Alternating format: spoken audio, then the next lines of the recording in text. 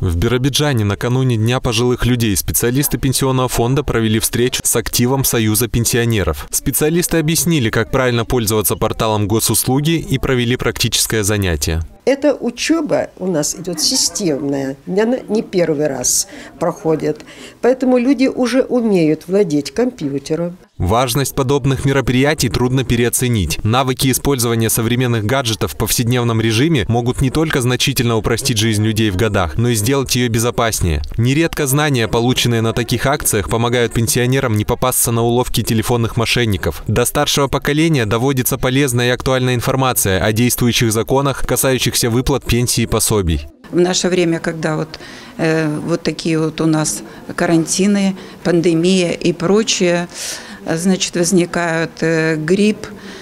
И поэтому для того, чтобы не ходить где-то в организации, ни в транспорте, ни, то есть не соприкасаться, ты можешь, не выходя из дома, все это узнать. Мероприятие, приуроченное ко Дню добра и уважения, как иначе называют День пожилых людей, завершилось в теплой неформальной обстановке. После инструктажа по информационным технологиям главных героев праздника пригласили в зал, где уже были подготовлены развлекательная программа и большой стол с угощениями.